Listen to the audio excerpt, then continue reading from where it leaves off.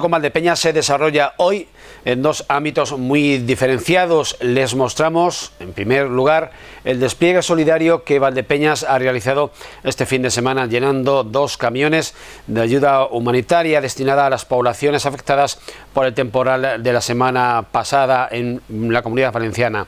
Vemos también las intervenciones del presidente de Castilla-La Mancha, Emiliano García Paje, y de la consejera de Economía de la región, Patricia Franco en relación con las inundaciones en las localidades de Letur, en Albacete y Mira, en Cuenca. Y a continuación, a partir de ahí, cambiamos radicalmente de temática y nos centramos en las actividades que Valdepeñas ha acogido en este puente de todos los santos. Así, conocemos esa noche de los finaos organizada por el grupo de folclore Raigambre y que nos lleva a esas leyendas decimonónicas en torno al Día de los Difuntos y nuestra tradición funeraria.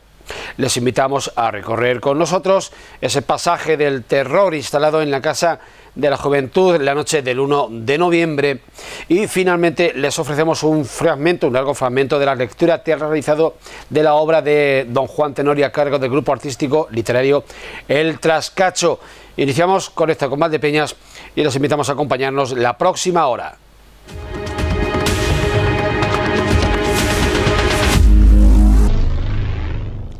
La solidaridad de España con el pueblo de Valencia se está desbordando este fin de semana. Son muchas las asociaciones y empresas que están organizando campañas de recogida de productos para ayudar precisamente a los damnificados por la dana. Es el caso de Asaja, que desde las 9 de la mañana de este domingo están aquí en el molino de Gregorio Prieto recogiendo todo lo que la gente les está trayendo. Nosotros hemos querido venir para acompañarles.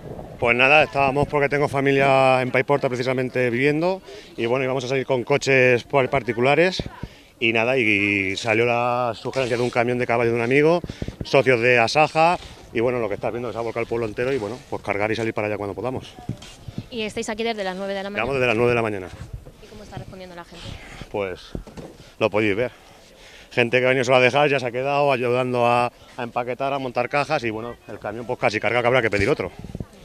¿Qué es lo que estáis recogiendo principalmente? Pues eh, hemos hablado con la gente de Payporter, han dicho que de alimentación estaban más o menos servidos, entonces sobre todo limpieza, agua y, tema de palas y eso para limpiar escombro y barro.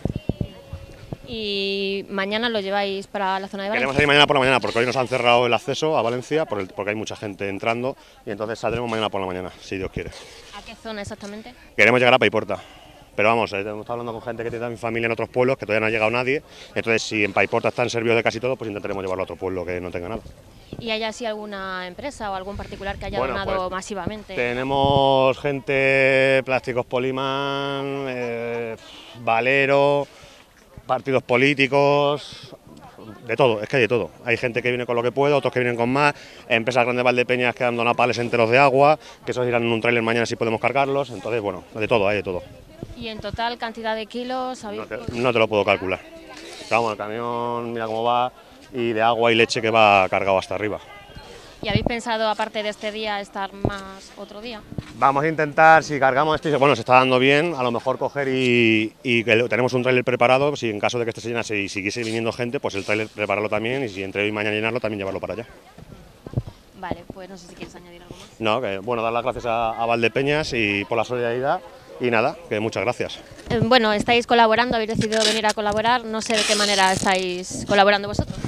Pues nosotros estamos, hemos traído cosas como todo, comida, ropa, eh, productos de higiene y nada, pues estamos organizándolo en cajas para que lleguen allí, que sea todo, que esté todo lo más sencillo posible a la hora de repartir y ya está, intentar ayudar a cada uno lo que puede, o trabajando o trayendo lo que pueda. Porque habéis venido de manera particular. Sí, nosotros hemos venido a, traer cosas, como nos hemos enterado, y hemos visto que cuanto más mano mejor, así que nos hemos puesto. Muy bien, ¿y lleváis aquí también desde las 9 o habéis venido un poco más No, un poquito más tarde, 10 o así, pero ya había bastante gente. Y, ya os habéis decidido quedar aquí. Sí, ya nos hemos quedado.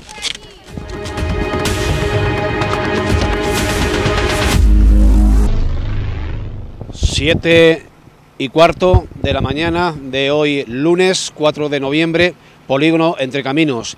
Están tras de mí los dos camiones que ayer se llenaron completamente de ayuda humanitaria recogido en la zona del, molino de Gregorio Prieto. La previsión era de llenar solo este, este camión rígido, pero la solidaridad desplegada por los valdepeñeros obligó a buscar también la ayuda de Pablo Quintana, que es el propietario de este otro camión, un camión tráiler, que va también cargado fundamentalmente de agua, pero también de otros eh, muchos eh, materiales y artículos que se precisan en, la zona afectada por la Dana en, en Valencia. Su destino es la localidad valenciana de Paiporta, a donde esperan llegar dentro de unas cinco horas. Cecilio, eh, cuéntanos la jornada de ayer de recogida de, de ayuda. Al final, ¿cómo se saldó? ¿Cuál fue el resultado? Bueno, pues fue espectacular, no puedo decir otra cosa, porque pues, llenamos este camión a las 12 de la mañana, estaba lleno, el rígido, y después tuvimos que llamar a Pablo porque se había desbordado de tal manera que había que dar solución y no podíamos dejar toda la mercancía en la calle. Así que hablamos con Pablo y llenamos el otro camión. Básicamente, ¿qué es lo que lleváis? Pues llevamos sobre todo agua, leche, mantas, eh, tema de aseo personal, alimentación para infantil, medicación especial que va en el coche, que eso hay que entregarlo en el punto sanitario en cuanto lleguemos. Y bueno, y después pues alguien, niños pequeños han traído juguetes para los niños de allí, eh, escobas, palas, cubos, todo lo que nos han, han pedido y hemos podido recoger. ¿Barajáis la posibilidad de hacer una, un segundo viaje? ¿Cuándo, cuándo, cuándo sería y con qué ayuda? Bueno, pues sí, eh, hablando con el presidente del Lucero, otras empresas, Beterbal, toda esta gente que está también apoyando muchísimo y nos descartamos, eh, mañana martes creo que sale otro camión de Valdepeñas, todavía no es seguro, pero saldrá y nosotros en cuanto volvamos, sobre todo con Pablo, pues lo más seguro esta semana tenemos otro viaje. Eh, la organización a la que pertenece Sasaja también está articulando más ayuda desde otros puntos de la provincia. Sí, ayer precisamente hablé con el presidente del Moral en Gracia, con Florencio de Ciudad Real y desde Bolaño, las cooperativas y tal, van a mandar todo, sobre todo material de monos, botas altas, palas y lo van a, vamos a centralizar todo aquí en Valdepeñas en el velódromo. Eh, Vicente, eres una de las personas, uno de, de los empresarios de Valdepeñas que se han movilizado y se ha sensibilizado con esta causa de, de Valencia. Finalmente, ¿qué es lo que vais a llevar a cabo en vuestro gremio? Bueno, eh, de momento teníamos pensado de llevar bastante pan, lo que pasa que, que luego la gente se ha desbordado y ha llevado bastante, bastante mercancía. Entonces, como vamos a echar más viajes, hemos quedado las tres panaderías para, pues, para llevar todo el pan que dijimos. Uno de los vehículos es tuyo. Sí, sí, el vehículo este es mío, que lo tengo dedicado para lo mío personal y, y bueno, y dije de, de, de ponerlo y, y estoy contento, claro, porque quiero echar una mano. Aquí en Valdepeñas tenemos muy mala eh, recuerdo, muy mala memoria por lo que nos pasó hace cuarenta y tantos años y eso pues posiblemente que también afecte y tengamos una especial eh, sensibilidad ante casos como lo que acaba de ocurrir en Valencia. Pues sí, yo, yo hice, yo pensé también en ello porque yo tenía nueve años o así y teníamos lo de la panadería y me acuerdo que mi padre estuvo tres o cuatro días, 24 horas haciendo pan, porque se quedó el pueblo sin, sin luz, sin agua y sin nada, un desastre. Y entonces eso yo lo tenía en cuenta.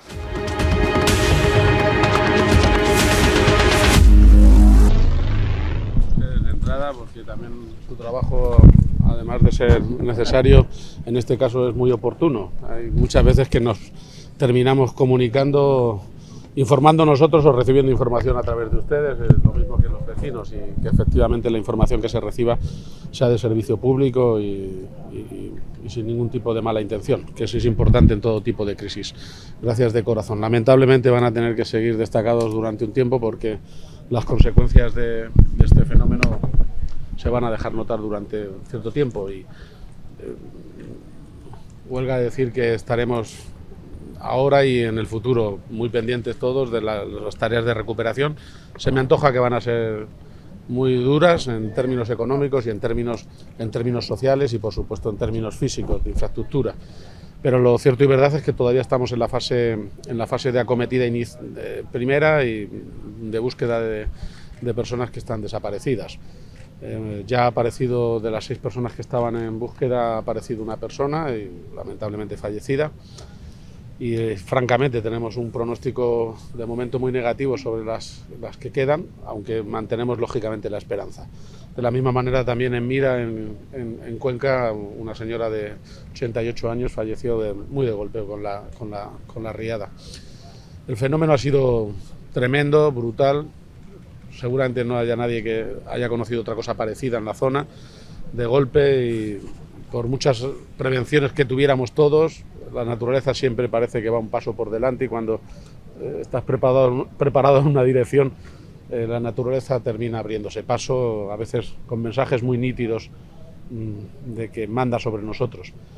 Eh, los daños materiales quedarán para después, hoy estamos en la búsqueda todavía de las personas y quiero agradecer muchísimo no solo el número imponente de, servicios destacados, solo aquí más de 150, también en Mira 134 personas eh, de, distintas administraciones, desde el Infocán de Castilla-La Mancha, la Guardia Civil, militares que estaban haciendo prácticas y que en vez de marcharse a, Alicante han, han, estado ayudando. Aquí particularmente se han organizado tres equipos, tres equipos para repartirse las zonas de actuación, mixtos entre los distintos cuerpos de emergencia y, y francamente se han, se han, localizado a mucha gente a la que se le ha podido rescatar. En este momento que les hablo se está rescatando a 19 personas en el municipio que estaban localizadas eh, a salvo, pero que tienen que salir de sus domicilios y algunas muy mayores, seguramente alguna con atención médica.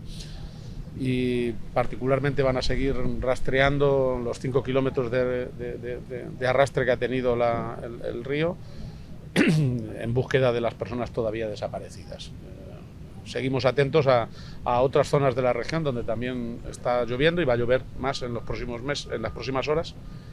Eh, creemos que con menos intensidad.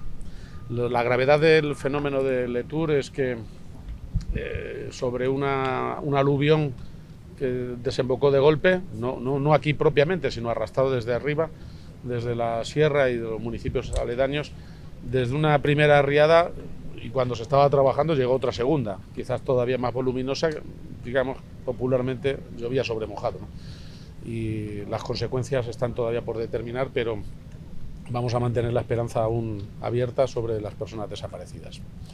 Mi gratitud también, por supuesto, a la multitud de solidaridad que hemos encontrado de, de todas las instituciones, desde Su Majestad el Rey, con el que he estado hablando y al que he estado informando de los pormenores de la operación de rescate y de, protección civil, desde luego el Gobierno de España, la vicepresidenta con la que hablé ayer, el contacto también hoy con el presidente del Gobierno, con el presidente del Partido Popular, eh, Núñez Feijóo, con eh, distintos ministros, pero también muy particularmente con la mayoría de los presidentes de comunidades autónomas que han mostrado su plena disposición, igual que el presidente del Senado. Digo esto simple y llanamente porque sinceramente se agradece saber que no estamos solos y, es lo mismo que le quiero dejar claro a la sociedad de Letour, a la población. No, no van a estar solos de ninguna manera. Seguramente en medio del dolor esto no consuela nada, pero sabemos de crisis lamentablemente ya unas pocas y las consecuencias de estas en vidas humanas seguramente son mayores que en otros casos porque eh, porque ha, sido muy de golpe, muy de golpe. estábamos alertados, los servicios estaban movilizados y eso ha permitido una reacción rápida, pero el volumen, la envergadura de la riada ha sido, ha sido desconocida. Presidente, ¿le ha trasladado ya al gobierno de esa intención, esa petición para declarar la zona como zona catastrófica? Sí, y, me consta que el gobierno de España también solicitará, con, casi con toda seguridad, también la ayuda del Fondo Europeo. Es una catástrofe de, de amplia magnitud. No quiero entrar en ningún tipo de consideración política, pero lo he dicho en muchas ocasiones, el clima da mensajes nítidos, lamentablemente nítidos, estas crisis son a prueba de cualquier tipo de, ambigüedad o de escepticismo, hay que estar preparados. Han mejorado en las últimas décadas muchísimo los servicios de detección, los servicios meteorológicos, eh, los, servicios de protección civil y, de, y la coordinación, sinceramente, funciona, aunque nada es suficiente cuando la naturaleza se quiere abrir paso. Y frente a lo que vamos superando, pues van llegando retos distintos en materia de protección civil y hay que estar alertas y seguramente será también una constante, una mayor inversión, mayores recursos en prevención. Todos los recursos son pocos. En esta región sabíamos mucho de incendios, sabemos de otras crisis, tenemos unos dispositivos muy cuantiosos, pero son la mejor inversión seguramente. No, no para todos los días, pero para cuando se necesita. ¿Hay muchas dificultades para acceder a la zona cero? sí, sí, sí. Ahora no, no pueden ni entrar todavía la maquinaria pesada porque estamos en un trabajo de detección minuciosa de personas y no queremos que la maquinaria estorbe o complique esa, incluso tenga peores consecuencias. Pero está toda la maquinaria ya preparada, tanto de de medios regionales como de la Diputación Provincial y, y también empresas privadas que están movilizadas y están en disposición de entrar. Entrarán eh, enseguida, entrarán enseguida. ¿Total de vecinos afectados o viviendas? Bueno, no, no, no, muchas, muchas, muchas, muchas. Yo creo que hay una parte muy considerable del pueblo que se ha visto afectada. Eh, afortunadamente, eh, en los sitios donde se va a intervenir, con maquinaria o con personal, ahora para los rescates, primero ha tenido que haber un, un, una certificación de garantías de seguridad de los inmuebles, porque aquí, como habrán visto, algunos literalmente desaparecieron en un momento y, sobre esa seguridad, sobre esa certeza van a empezar a movilizarse. El problema es que incluso para desplazar maquinaria era necesario hacer unos, unas comunicaciones, unos puentes que se están ahora mismo eh, ubicando. ¿no? ¿Cuántos vecinos desalojados? ¿saben? Bueno, aquí han sido decenas, pero en concreto ahora son 19 los que están en, en operación de rescate. No, digo aquí en... En el Tour, en el Tour. 19 están ahora mismo en, en viviendas, en lo que es el más el centro, que van a, van a ser ahora desalojados. ¿eh? Vamos, desalojados de sus viviendas donde están a salvo, están con seguridad. lo que pasa que cuando, eh, cuando está por, por, llegar todavía más agua, lo que se recomienda muchas veces es que la gente, si está a salvo, está en zonas altas de la vivienda, pues que aguarden a que, a que se abra camino los servicios de emergencia. Y bueno, serán, serán digamos, eh, rescatados ahora mismo, en, estos, en estas próximas horas. Por tanto, sí hemos decidido hoy constituir un grupo de trabajo, el Gobierno regional con la patronal y los sindicatos, para estar informados permanentemente de cualquier asunto que tenga que ver con la recuperación de la actividad normal tras nuestra prioridad absoluta, que es ahora el encontrar a las personas que se vieron vieron, desaparecieron en Letur y que todavía no han sido encontradas. Y por tanto, las prioridades como gobierno están fijadas y por tanto la afectación también al tejido empresarial la tenemos muy acotada y lo he podido también compartir con los agentes sociales. Teniendo en cuenta que aquellos lugares que han tenido las afectaciones más dolorosas por la pérdida de vidas, como Letur y Mira, pero también teniendo en cuenta otros municipios que han sido anegados con motivo de la Dana, eh, todas las medidas van a estar a disposición de todos ellos, pero de una manera muy dirigida. Estamos hablando, como digo, de en torno a 30 cuentas de empresas con cotización a la seguridad social en el caso de Letour y 42, 43, no me hagan caso de la cifra exacta, en el caso de Mira. Y por tanto podemos hacer un trabajo desde el Gobierno regional muy directo y muy de acupuntura para llegar a cada empresa, a cada persona autónoma que se vea afectada por la paralización de la actividad con motivo de las dramáticas consecuencias causadas por la dana.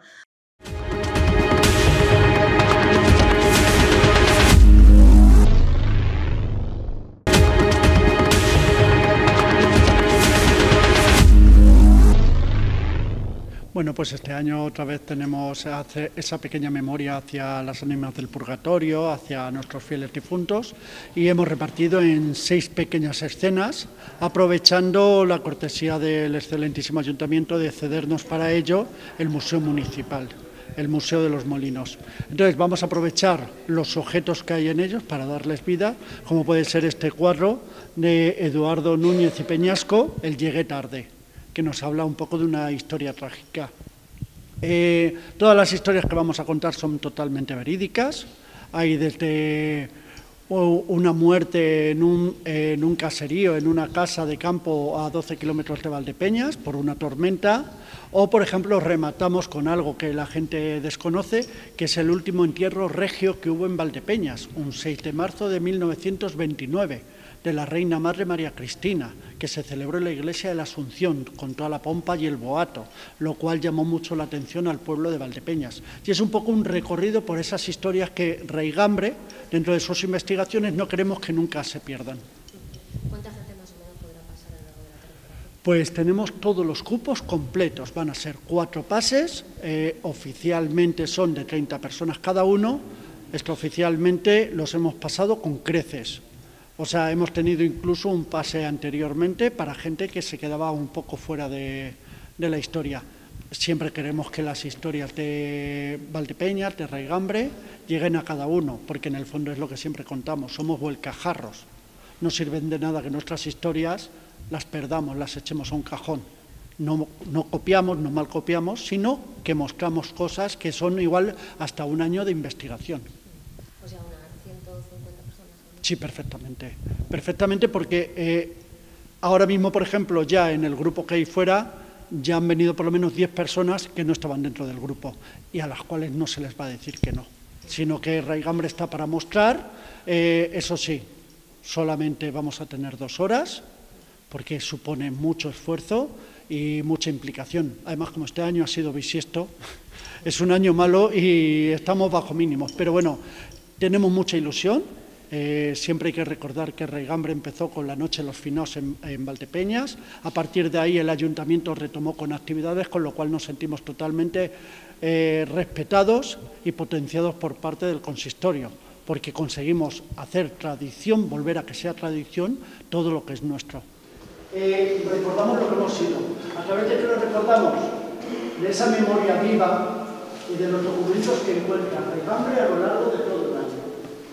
Esta noche, día os vamos a proponer eh, seis pequeñas historias en las cuales vais a hacer un recorrido por el mundo funerario, por la tragedia, desde lo más mísero a lo más elevado que ya lo explicaré. Comentaros que en esta noche es muy importante a partir de las 11 de la noche.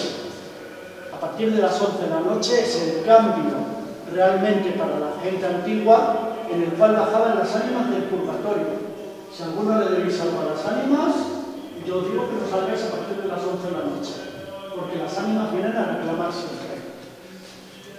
Dentro de lo que os vamos a contar, vamos a empezar con un pequeño personaje, o un gran personaje, si me seguís. Según la historia, se destacó sobre todo en la guerra de la independencia. Raigambre realmente para esta noche no nos interesa mucho su vida, que fue muy heroica, queriendo caer a Fernando VII, el deseado, sino que nos interesa sobre todo a partir de un momento, que es el momento en el que él es acusado de una tropelía en el Valle de Alcudia y acaba siendo llevado a la Real Chancillería de Granada, donde a partir de ahí es ajusticiado. Sí, para usted, nadie mejor que yo para contar una historia. Pues. Buenas tardes. Soy doña Sacramento Muñoz Antolines de Castro. Vengo de las mejores familias de Valdepeña. Soy la esposa de Francisco Abad, coronel de la Real, Ejércitos. Conocido por ustedes como Chaleco. Sirvió al rey Fernando VII y en su pago al servicio lo mandó a justiciar, condenarlo y a justiciarlo. Se lo llevaron a la Real Chancillería de Granada. Y en el campo del triunfo de Granada lo justiciaron. Tiempo después ajusticiaron también ahí a doña Mariana Pineda. No contentos con eso, le mandaron cortar la cabeza y puesta en una pica se la llevaron a la posada de la bienvenida del Valle de Alcudia para que pagara sus justo que no eran causas muy justificadas, ya que todo era falso. En la última carta que me escribió me decía que cuidara a nuestras hijas y que le defendiera con la cabeza muy alta su lealtad y honor. Buenas tardes. Doña Sacramento no pudo realmente defender nunca a Chaleco ya que doña Sacramento murió a los 20 días de ser ajusticiado su marido. Cuenta la leyenda y cuenta la historia que para humillarlo todavía más al que para nosotros ya es un héroe valdepeñero, según le decapitaron, lo metieron en un carro de basura tirado por presidiarios y lo pasearon hasta el cementerio de Almencor, sin cabeza, llevando la cabeza, como bien ha dicho su viuda, al Valle de Alcudia. Para ejemplo de esa población. Si me seguís un poco y os miráis, podéis ver un cuadro. Uno de los cuadros pertenece a la Pinacoteca de Valdepeñas. Para nosotros es un cuadro muy relacionado con el tema funerario. Es un pintor valdepillero, don Eduardo Muñoz y Peñasco, que estuvo pensionado por, por la familia Vasco, por don Eusebio Vasco. Eh, en el cuadro, lo que estáis viendo, además en el cuadro documentados, que este cuadro pertenece, eh, tuvo un premio a nivel nacional. Es uno de los cuadros más desconocidos de la Pinacoteca Valdepeñera y es uno de los más importantes. Comentaros sobre este cuadro que hace mucha referencia a ese mundo funerario y a esa población pobre, lo mismo que dona don Francisco, al final se le reconoció que había sido todo falso, la gente pobre en Valdepeñas moría muchas veces solamente acompañado de los vecinos, si no tenían familia. No es como hoy que existen una serie de subsidios de historias, morían. Eh, ¿Quién se encargaba realmente de esos entierros? La Hermandad de Paz y Caridad. Yo, como todos los años, luzco el escapulario original de la Hermandad de Paz y Caridad del siglo XIX. La Hermandad de Paz y Caridad se paseaba por Valdepeñas todas las noches desde que empezaba a oscurecer hasta antes de las 11 de la noche, paseándose, según dicen, por las cuadras, es decir, por los barrios, con un farol, una caja y una campanita, que iban tocando. Iban diciendo pequeños motetes en recuerdo de las ánimas, sobre todo uno que siempre repetimos esta noche, tanto en el principio como en el final, que es el de pecador, las 11 son, ya puedes considerar, el alma todo se acaba, como estamos estarás. Era el recuerdo perpetuo que tenía Madre Peñas a sus difuntos. También comentaron sobre una historia que hemos contado alguna vez, que los entierros que hacía la Hermandad de Paz y Caridad siempre eran para pobres. Si algún rico se quería enterrar, tenía que pagar el enterramiento. Dentro de esos enterramientos hubo uno que el pueblo de Valdepeña repite mucho, no sabemos si es verdad, dentro ya de esa fábula popular, que dice que se muere un hombre y el hijo quiere enterrarlo de pobre. Se va a la Hermandad de Paz y Caridad, se lo advierte y la Hermandad de Paz y Caridad le dice que tienen dinero y que paguen el entierro. El hombre dice que no, se va al ayuntamiento y el ayuntamiento le dice que no, que tienen posibles que paguen el entierro porque con esos dineros se pagaban los entierros de los pobres de verdad de la pequeña. Total, casi pasaron todo el día. De un lado a otro no veo a su padre, por la noche se encontró con el padre y sin nadie que lo ayudase. En ese momento decidió una cosa, en la oscuridad de la noche se lo echó a las costillas, lo sentó en la puerta del ayuntamiento con un letrero que ponía a quien le moleste que lo. Es más, era una de las formas que tenía el pueblo de salir a la calle, se echaban la manta y no tenían ningún tipo de problema. Bueno, parece que estamos todos, o creo que estamos todos, vale, eh, os situamos. Estamos a 12 kilómetros de Valdepeñas, año 1929, la casa de don Jerónimo Cejudo. El casero, que estaba con su familia en la chimenea, era una tarde plácida y de repente hay una tormenta. Todo lo que os contamos esta noche es totalmente verídico. O sea, no exageramos ni quitamos. Lo único que sí solemos hacer es no deciros nunca los nombres de los fallecidos. Eso ya forma parte de los archivos del grupo. Bueno, pues esa noche eh, en la cual estaban, esa tarde-noche, en la cual estaban en la casa de don Jerónimo Cejudo, el casero, la mujer y el hijo de siete años, estaban alrededor de la chimenea y en un momento se desata la tormenta. Y por uno de los resquicios de la ventana, el padre que estaba con un candil es atravesado por una chispa del trueno. De rebote mata a la madre, quedando exclusivamente el hijo de siete años. El hijo en ese momento se ve que sus padres acaban de fallecer y lo único que puede hacer es salir a avisar a las casas colindantes, que había unas casas cerca, donde vienen los trabajadores de esas casas y aquí se pusieron a velarlos. ¿Por qué? Porque tuvieron que avisar a la justicia de Valdepeñas para poder levantar, como actualmente, los cadáveres.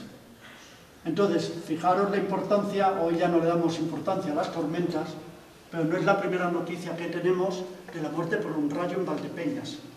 Y aquí tenemos a, a estas paisanas velando los cuerpos del marido y de la mujer. Pero es familia mía.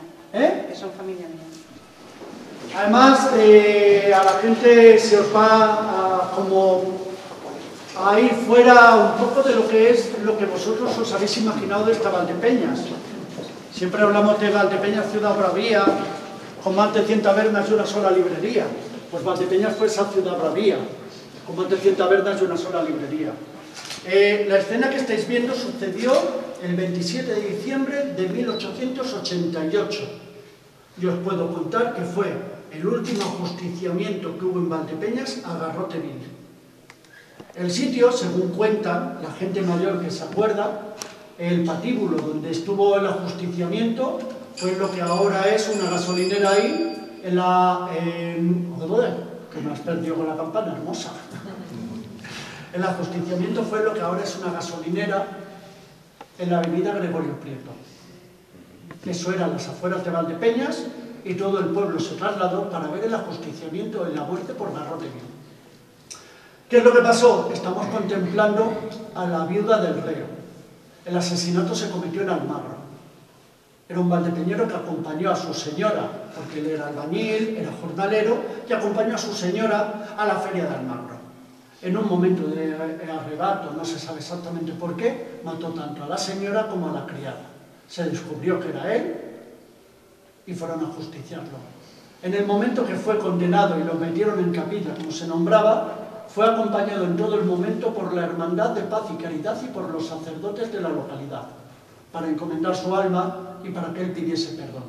Su última comida, que él la pidió, fue preparada por la hija del hermano mayor de la cofradía y fue costeada por los hermanos de dicha cofradía. En el momento que salió de la cárcel, además con un tosco sayal, según dicen, lo subieron a un carro acompañado por dos sacerdotes. Él llevaba escapularios de la Virgen de Consolación, San Rafael y de la Virgen del Carmen. Dicen que iba totalmente sereno y al llegar al patíbulo y subir, el alguacil le dio la sentencia antes de sentarlo. Él pidió permiso, se levantó y habló al pueblo, pidiéndole perdón y que él había sido un mal ejemplo de lo que había hecho y que esperaba que su muerte sirviese de escarmiento. Cuentan, y es lo que estamos viendo, cómo la viuda se refugió a orar, estuvo acompañado no solo de los hermanos de paz y caridad, sino que estuvo acompañado también de sacerdotes de la localidad. Ella se quedaba viuda con ocho hijos. Se decidió por parte del Ayuntamiento y de la Hermandad de Paz y Caridad abrir una pública limosnera para, los, para poder socorrerla a ella. En el momento que fue ajusticiado, los sacerdotes de la localidad cayeron de rodillas y le rezaron tres padres nuestros por el alma del difunto. Los sacerdotes y la Hermandad de Paz y Caridad no abandonaron el cuerpo mientras estuvo expuesto a contemplación pública. Para cuando paséis por allí y sepáis que ahí fue el último ajusticiamiento. Terminado ese acto, lo cogieron, lo metieron en un ataúd pagado por la hermandad y lo llevaron al cementerio, donde fue enterrado. Así que aquí dejamos a la viuda. Eh, me he perdido, perdón. No, cuéntame. A lo primero has dicho, ¿a quién mató? ¿A su señora? ¿Mató a la señora? No, a la señora, al ama. Ya digo, si cabida como... No, no, al ama, al ama. Al ama, Yo vale. hablo de la señora, pero no a su mujer. Ya, vale, vale. Al ama, al ama. Vale. La viuda bastante tuvo con quedarse con ocho bocas que alimentar. Es que digo, si está rezando, porque digo, si la mató al primero, oye. No, no. Sí, a mí me pasa lo mismo. Al ama, al ama, al ama. Vale, pues pasa es que decir el ama siempre me suena un poco... ¿Qué era lo que era entonces? Mira el ama. Que estaba trabajando para él, Sí, para sí. ella. Así que si me acompañáis para el patio, vamos a unos años muy concretos. 6 de junio de 1808, os recordáis, la entrada de los franceses. Según la memoria popular, ese día echamos a los franceses, fuimos muy heroicos. Lo siento mucho, no, no es verdad. Los franceses se quedaron invadiendo Valdepeñas hasta el 24 de junio, día de San Juan, sí, día de San Juan, de 1812.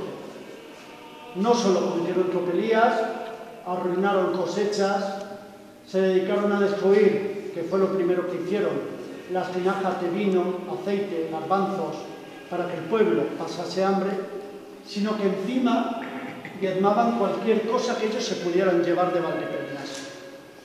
Hubo un momento que el pueblo de Valdepeñas se levantó contra esa invasión francesa, sobre el 1812, 1811, 1812. Y los franceses, que os estoy hablando que en Valdepeñas se contaban en torno a los 3 y 4 mil franceses, en la invasión salieron de la localidad. En ese momento que salieron de la localidad, volvieron a coger fuerzas y volvieron a entrar arrasando Valdepeñas de nuevo, que es una fecha que tenemos un poco olvidada. ¿Qué es lo que hicieron? Para escarnio público, cogieron exclusivamente a dos valdepeñeros, los nombres se conservan, y los ataron con una soga y los tiraron de cabeza al pozo, para que el pueblo de Valdepeñas aprendiese y que más le valía no volverse a levantar contra el invasor. Y bueno, pasamos ya a la última escena, que es esta, alrededor de lo que todos los años os ponemos, el catafalco, las andas, el paño de ánimas. Contaros, como todos los años os contamos, que el paño de ánimas es una recreación del paño de ánimas original de la Hermandad del Pecado Mortal. Lo único que no hemos representado está representado en medidas y todo eso, porque dice que las partes doradas eh, están hechas con oro de Milán, hilo de oro de Milán, con lo cual el grupo no, no, llegamos a hilo de Milán.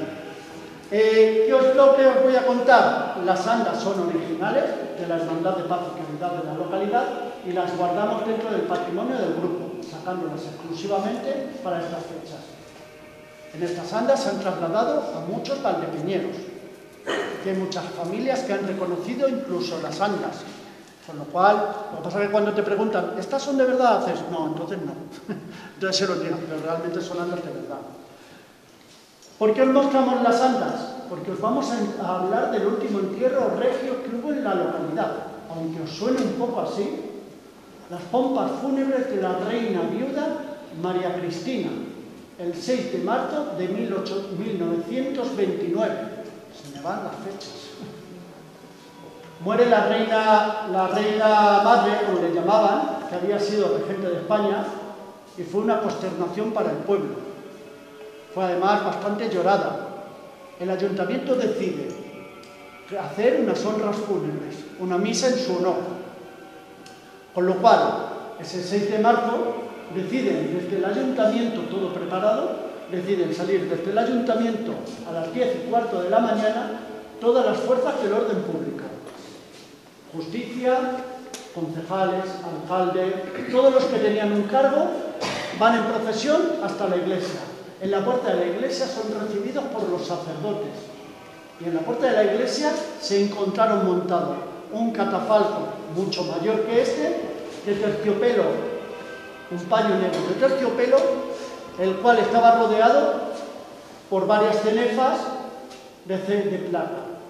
Por las esquinas caían borlones también de plata.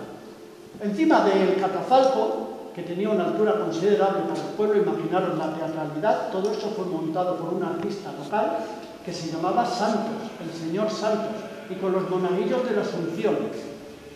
No solo montaron eso, sino que encima montaron el ataúd en representación del cuerpo presente de la reina, y encima del ataúd pusieron una gran cruz de plata. Alrededor del ataúd pusieron 16 hacheros, es decir, 16 velas grandes, para alumbrar a la difunta y tanto a los pies como a la cabeza pusieron a, dos parejas de la Guardia Civil. Realmente hablan de una pareja de la Guardia Civil y otra pareja de carabineros.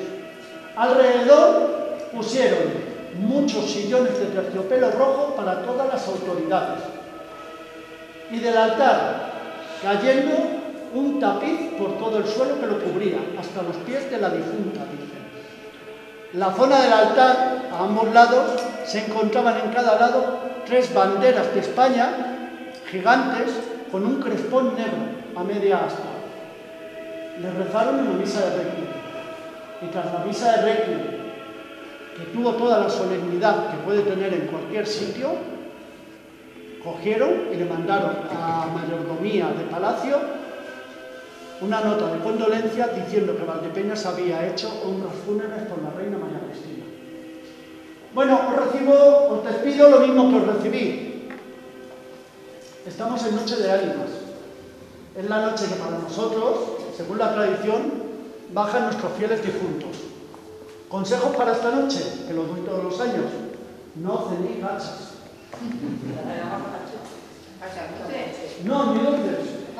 No, las gachas no, porque los difuntos y el alma de los difuntos tienen una costumbre. Y es que cuando en noches como esta o se ha muerto un vecino o algo, o algún familiar, vienen a cantar las gachas. Y te meten los dedos y te las remueven. Con lo cual, si queréis probarlo esta noche, pero encontráis el surco, yo no os digo nada. Alguien nos ha visitado. Muy buenas noches y si tenéis la, alma tranquila, no pasa nada. Si no, antes de las 11, apostáis por todo el mundo. Buenas noches.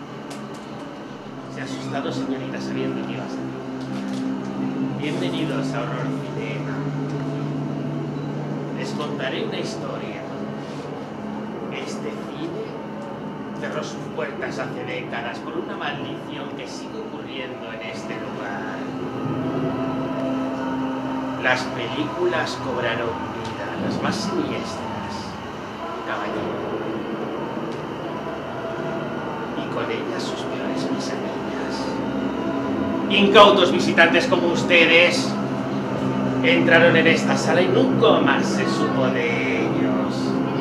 Así que tengan cuidado durante su recorrido, no corran, no se separen y no toquen a nada ni a nadie. ¿Lo ha entendido, señorita? Vaya usted la primera. ¡Vamos! La primera. ¡Vamos! ¡Vamos! ¡Vamos! ¡Caminen! ¡Caminen!